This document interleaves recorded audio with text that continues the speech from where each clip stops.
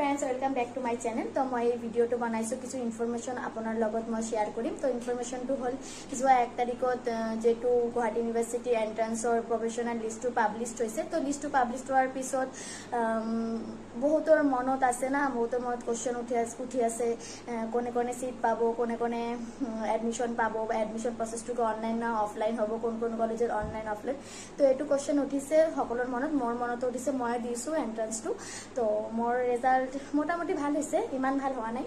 তো আশা কৰি চান্স পাব লাগে বাট জেনেৰেলটো ক'ব নোৱাৰোঁ। পাব কি নাপাব।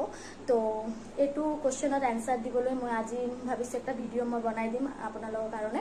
তো আজি মই আজি মই যিটো ক- কৃষ্ণবৰা বি এড কলেজ হয় লংকাত যিটো এন চি টি গুৱাহাটী ইউনিভাৰ্চিটিৰ আণ্ডাৰে কৃষ্ণবৰা বি এড কলেজ মই তাত গৈছোঁ আৰু মই তাত এডমিশ্যন প্ৰচেছবিলাক সকলো মই ইনফৰমেশ্যন লৈ আহিছোঁ আপোনালোকৰ কাৰণে। মই ভাবিছোঁ লগত শ্বেয়াৰ কৰি দিম তো আপোনাৰ তো ভিডিঅ'ৰ ফাৰ্ষ্টত মই কৈছোঁ মই ইমান কলেজত যোৱা নাই মই দুটা কলেজতে গৈছোঁ।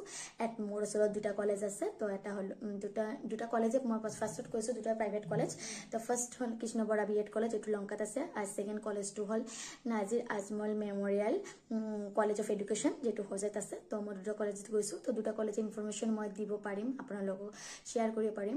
আদাৰ্ছ কলেজ মই যোৱা নাই মই ইনফৰমেশ্যন কিবা প্ৰচেছ হয় মই জানা নাই। তো মই ক'ব নোৱাৰোঁ। তো দুটা কলেজৰ ইনফৰমেশ্যন মই দি আছোঁ।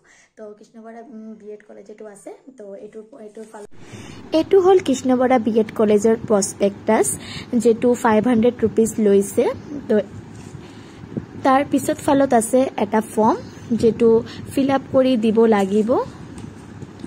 এই ফৰ্মবিলাক আফটাৰ মেৰিট লিষ্ট পাব্লিছ হোৱাৰ পিছত ফৰ্মটো ফিল আপ কৰি তাত জমা দিব লাগিব। তো ফৰ্ম দেৱাটো ষ্টাৰ্ট হৈ গৈছে মই ভিডিঅ'ৰ ফাৰ্ষ্টত কৈছোঁ ফৰ্ম দেৱা ষ্টাৰ্ট হৈ গৈছে। তো আপোনালোকক জনে জনে ফৰ্ম বিচাৰিছে এডমিশ্যন ল'ব বিচাৰিছে তাৰ ফালত গৈ থাকি ফৰ্মবিলাক কালেক্ট কৰি লোৱা। তো এইটো হ'ল বি এড চিলেবাছৰ এখন কাগজ। তো ইয়াৰ এডমিশ্যনৰ পিছত বি এড চিলেবাছে কি কি থাকিব কি কি পঢ়াব সকলো ইনফৰমেশ্যন ইয়াত দেৱা আছে। তো ভাল কৰি চাই লোৱা। এডমিশ্যনৰ কথা কৈছোঁ। এই- এইটো হ'ল ফিজৰ কথা। তো কিমান ফিজ লাগিব প্ৰচপেক্টাছ দেৱা আছে। তো চাই ল কিমান ফিজ লাগিব দেখি লোৱা। কৃষ্ণবৰা বি এড কলেজৰ প্ৰচপেক্টাছ আৰু চিলেবাছ চিলেবাছবিলাক আছে তাত লেখা। আৰু ফিজটো ফিজটো ফিজটো অলপ অলপ বেছি হয় কাৰণ প্ৰাইভেট কলেজৰ জেনেৰেলি ফিজটো বেছি হয় একো একো নাই।